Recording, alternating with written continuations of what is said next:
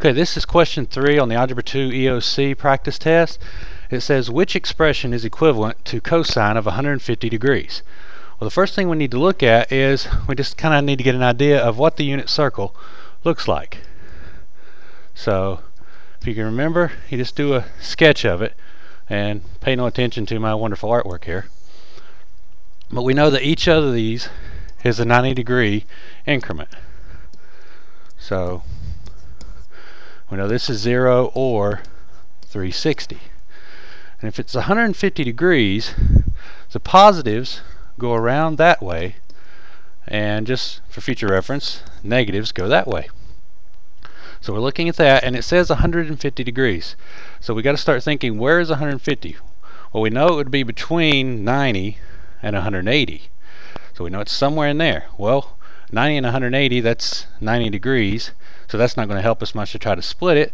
So we start thinking, you know, remember from your classes that each of these little marks, that first one, second, and then a third one in there, this would be 30, this is 45, and 60.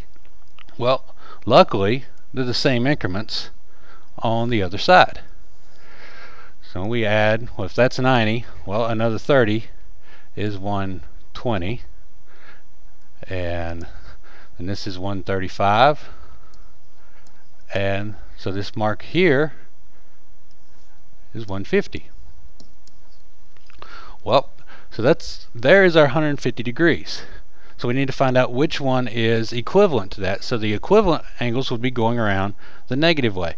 So we just go back up and match. Well it would still have to be there but what is it going the negative route well what would total 360. So we do the math and we subtract 150 from that and what do we get? 210.